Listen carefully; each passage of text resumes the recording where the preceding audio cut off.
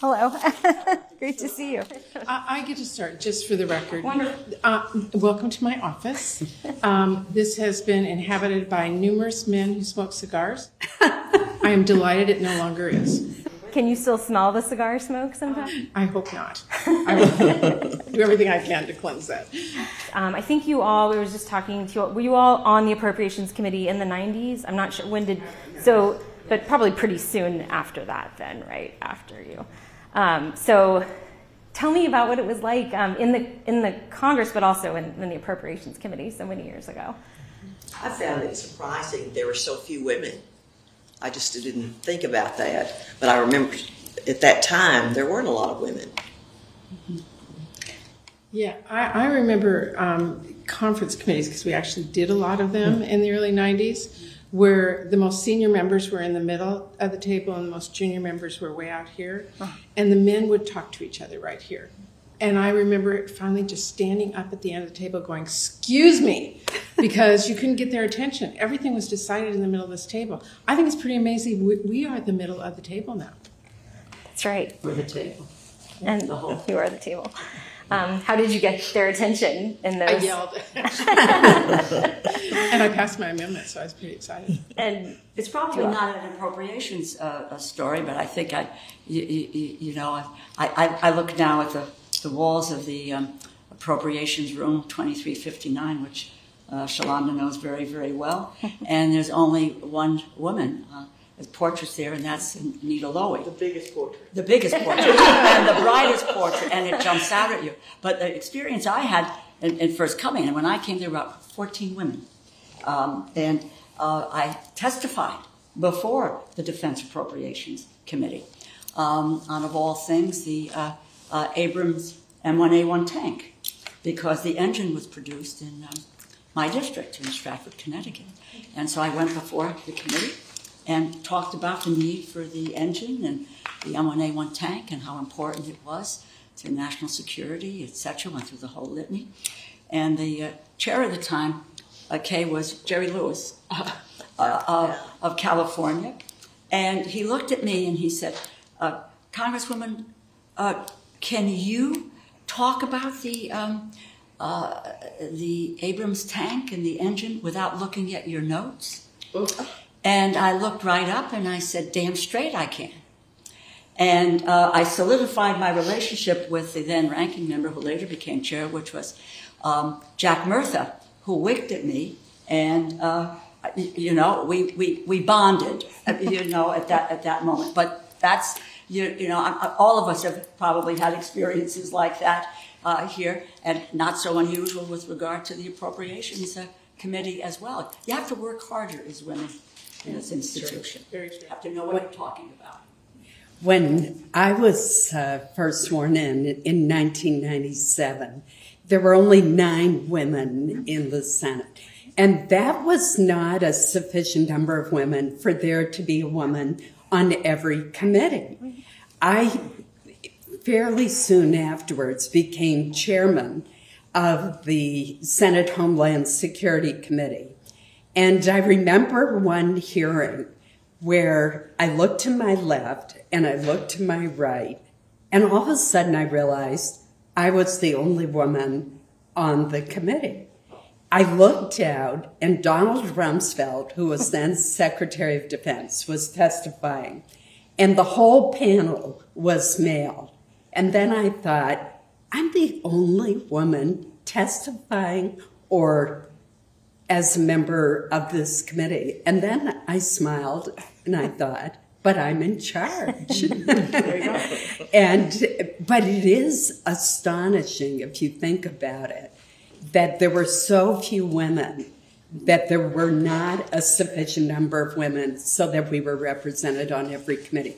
And I don't mean to imply that all women think alike. We span the ideological spectrum. But women bring different life experiences and different perspectives. And that's why it matters. And different goals. We want to get something done, which is what we all share this time around is that we don't want to mess in a maloo at the end of the year. We are pragmatic. We want to work together. We've all talked about that because we really want to show to each of us want to show the country that this process can work and we can get things done. Do you think you're more collaborative or more communicative? Obviously, you can't generalize too much, but Without a doubt. I, Without a I, I will. I will put money on that statement and that sentiment, and I'm going to throw OMB in here. I might be the the one OMB director you all would invite uh, to do this. I probably am the is that correct? the, the, the one who loves this committee uh, and these women most. I want them to be successful, and I'll do what I can from uh, my role to make sure they're successful because that's good for the country.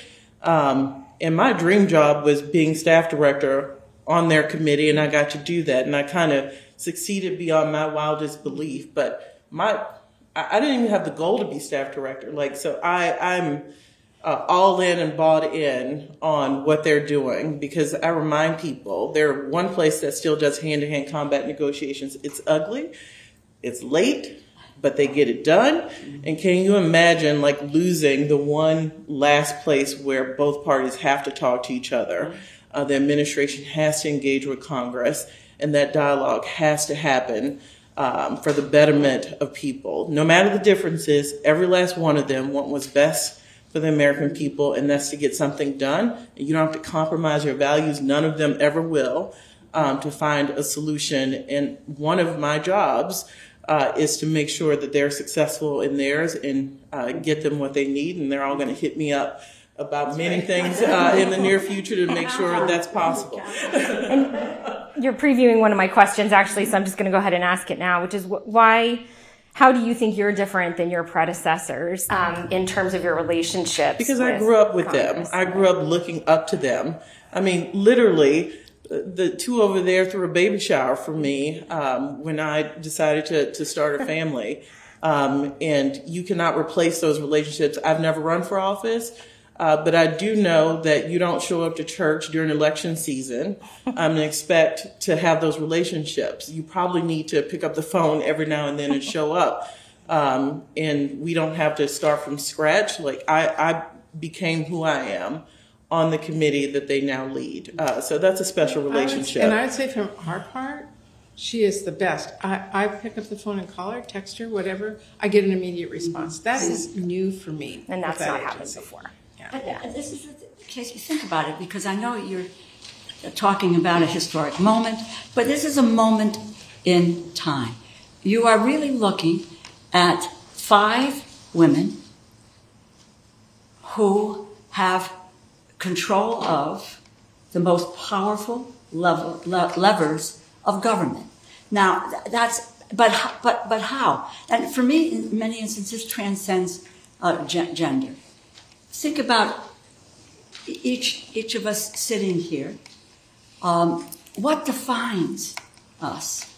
What is it? it it's knowledge, deep knowledge of of, of not of the, the, the content, but the process, the skills, experience, effectiveness of knowing how to get uh, a, a policy over the, the, the, the finish line. Uh, and in, this regard is that that that's what's dominant here. We didn't get here because we are women. We did not get here because we're women. And if you think of each one, and Shalanda is a legislative uh, expert, has the deepest knowledge of the budget process, but each of us here, fierce advocates for our state, for our, our district. We don't take no for an answer, and we don't give up. You know, it's a lengthy process in which you're engaged in. And I think our constituents know that, but I think our colleagues That's know correct. that as well. And I think that that defines is the, the, the, the leadership. And as I, I, I just say, this surpasses and it transcends, transcends gender. You know, we didn't get here because we were women. Yeah. It does, but I think we also help each other. We have Yes. some a new woman will come in for something like that, and so we, can you help you? Can you you know what are you what's your goal that sort of thing, and so you have a a relationship there of yes we, we help each other, and uh, and wish each other well. And Mikulski did that, if I'm not mistaken, right? Didn't she do? So I, I'm not totally familiar with it, but I think she. What she always did was invite the freshmen women senators into her office to teach us about the appropriations process. And she called it her workshop. And it was very valuable. It gave us a lot of tips as well as a deeper understanding of how to be effective. There was no handbook on how to be an appropriator. Right. So we have to teach everybody as they came along. Barbara was our teacher, every one of us, really. But you know, I think what you hear here is that not only are we good communicators, and we talk to each other, all of us, and we have to do that, but we are also good listeners, and we also do our homework. I know when I'm talking to Susan that she's in that room and knows this issue and that account and what the tripwires are more than anyone. And I better not walk into that room unprepared, right? you know, so we do our homework, as someone said earlier, and we get to the details and we communicate them. And I think that's how we will be successful. So how is Also- sorry, put you guys. I think we've all experienced uh, young women that we can. They'll say, "Well, how did you get to be where you are?" And so it's a it's it's a very different situation than it was so far back a long time mm-hmm. ago because there's so few of us. But it's really wonderful to be able to help some women coming up in these these positions, other positions. We may be the mm-hmm. first women doing this. We do not want to be the last we are last. not the last. That's what Barbara Mikulski would say. Um, and how have things changed since those days in the 90s and early 2000s when you all were just getting here? How, how is Congress? I mean, uh, there's some obvious changes. It's much more partisan than it used to be in a lot of ways. How has it changed for, for women, do you think, and for you all in particular? Well, the dynamic has changed. The environment has changed. So I came with 14 women, and uh, senator came. There were nine nine women. There were, you know, so few of us. I was six You know, you were six. Senate. Okay, I don't know, but the numbers were were were, you know, very small. And you know, no matter how you package it, even now we are not the the majority. But the environment has changed profoundly you know, and women in the past, a lot of young women are running for office, those with children, and earlier on, you know, if you had young kids, you know, this was probably not what you were going to choose as a profession, you know, what all the mores around that were, whether you were leaving your kids or, you know, so forth. But that's changed. So it's involved many, many more women. Look at the agenda, how that's changed over the years because of the influence of women. And, you, you, know, I think that there is a healthy respect. Um, uh, you know, when, as I said earlier, we do have to work harder. You still have to stand up and know what you're talking about. You have to answer the first, second, third, and fourth question. I, I want to hear what Susan has to say, but I'll, I'll answer that a little differently. When I came here, we did get appropriations bills done. There was a process. We did work across the aisle. We, we negotiated those bills. And that has changed dramatically. And I think that's what we want to change. Not go back to the good old boys, but go back to working together, working in a bipartisan way, knowing that we've got to agree and disagree on things, but at the end of the day, we have to produce a budget. Why is that important? Every family has to have a budget. And I think what you see in front of you is five women who are determined to get us back to that place where we can show the American people that despite our differences, we can get things done. But we did that last December. I said that to you, Patty. Last December, in divided government, with a two vote majority on the Democratic side in the House, we were able to pass a bill. And if we wanted to get done in December, we all wanted to get that done, including Shalanda, getting it done in December. Rosa and I had some very, very lively conversations. but it was, we had, you know, bipartisan. These bills have to be bipartisan and bicameral in order for the president to sign it. And we got it done. Uh, so, as Patty would say, it's, e- it's, we can get it done. But this is a new. Oh, sorry. Go ahead. So Patty and I have a history of getting it done. Uh, when we were the chair and ranking member of the subcommittee with jurisdiction over transportation and housing, we always produced a bipartisan appropriations bill in those areas. But I want to go back to the question that you asked earlier. One way that it has changed is when I was first elected back in, and took office in 1997, men were assumed to have the qualifications to be a senator. And if they were elected, it was just automatically assumed that they belonged here. Women had to prove ourselves. There was always an extra barrier to prove that we belonged in the Senate. Now, once you pass that test, then you were accepted and you were part of the club. But there was that extra barrier that was definitely in place. Still exists to some extent, but far less than it used to. So I remember a time where I was meeting with someone uh, who was making a proposal, and I had my staff, he had his staff, and we were talking, and I was seated about like you, and so he would always turn to the man and, and ask the questions, mm-hmm. and and I would answer, and that so finally I said, "Would you stand up, please?" He said, "Yes, there's something wrong." I said.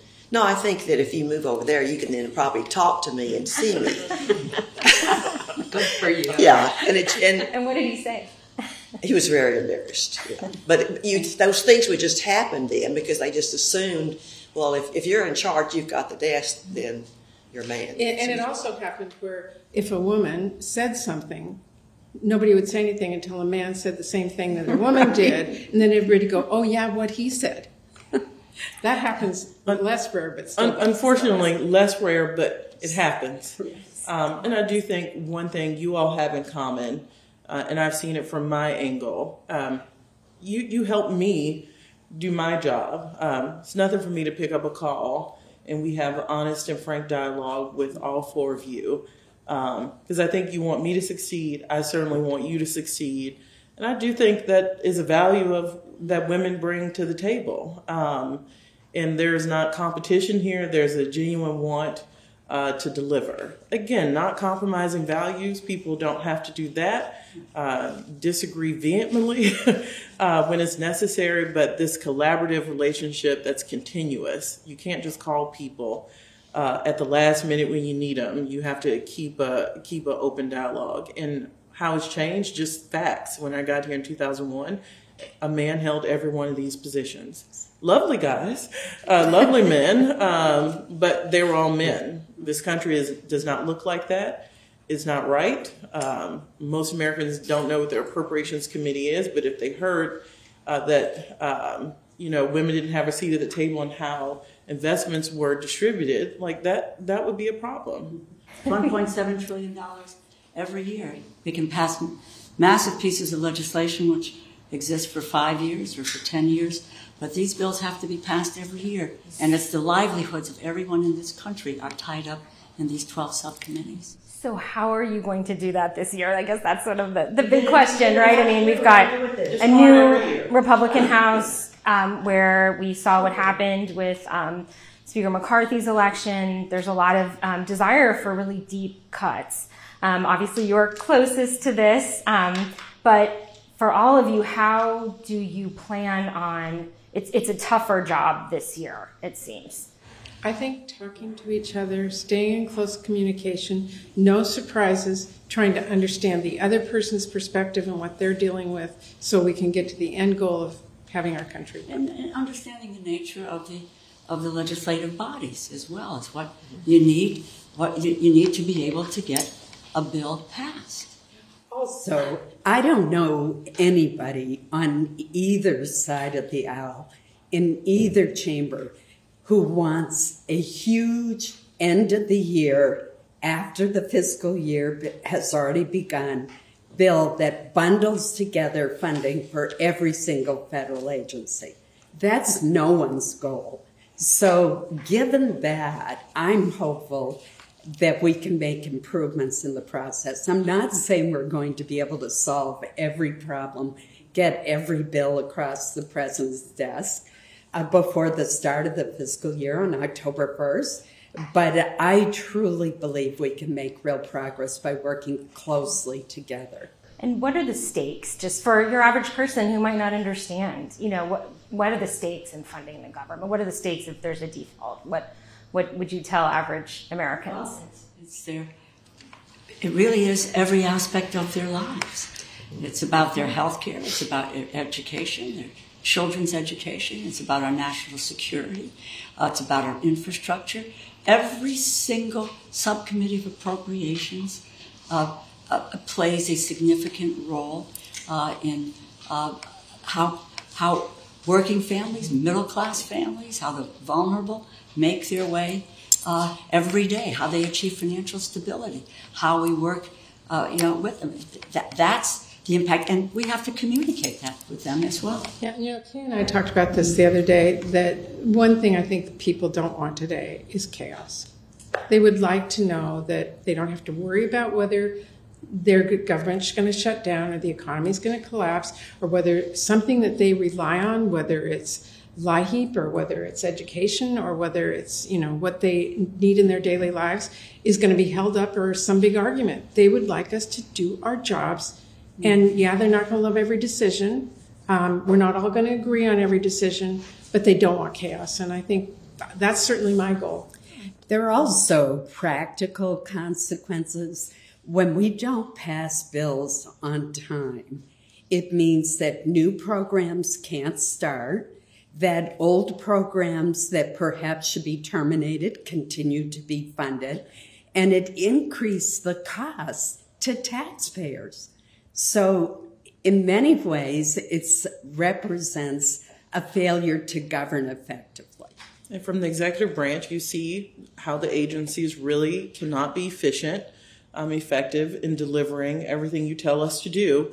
Uh, there's just no way under CR after CR, uh, threat of shutdown, uh, that these agencies can do what they they're tasked to do in an effective manner when there's no sure path uh, to a funding regime. Uh, I knew that here. I really see it uh, clearly in the executive branch, um, having to implement many of the things you, uh, you pass, um, and it makes it it makes it difficult for DO, you know people use DoD for example, but that's one agency. All of them have if they're going into the year half the year with uncertainty, they really can't do anything. Even basic grants, we don't uh, issue grants for most government programs under CRs because we're not sure what the final number is. So we have to haul all that back from your communities uh, until we have a clear path. And so I'll just end on one last question, particularly to the, the House leaders. How do you plan to navigate these sort of demands for cuts in spending um, that seem pretty serious, and, and McCarthy's speakership might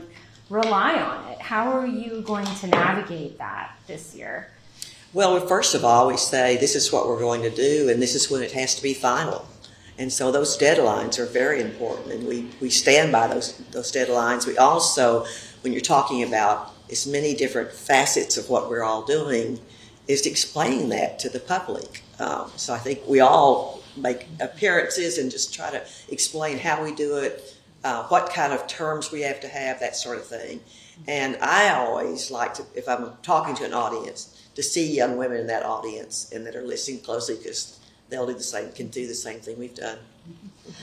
You know, we, we, we will do. There are there are differences, but the process has worked. We passed an omnibus bill in December. The government did not shut down. It was was it easy? No, it was hard, and uh, we both uh, Kay and I we went through the process on the House side of every single bill went through subcommittee, full committee. Six got to the floor of the House, etc. So, in terms of engaging in the process, as, as Senator Collins pointed out, we're prepared to do that. Yes, there will be. We're, none of us are have our head in the sand. We know there there are difficulties going to be involved, but the the, the both sides have different interests, different, uh, and you can come together on those, those interests. There are a number of people who care deeply about what happens to the National Institutes of Health. They're on both sides of the aisle. Number of people who care deeply about what's happening with job training and apprenticeships, people who care about defense, people who care about veterans. So it's building those coalitions that will allow us to be able to move. And that's what we're trying to do. We will work to build the coalitions that will allow us to get these bills passed and do the business of the American people. Great, thank you so much. I could talk to you all all day. They're telling me Thanks I have so to wrap much. up, okay. but um, thank you so much for thank for you. talking to us. And yeah, I have been too. Yeah. Thank you so much for having me. Yeah.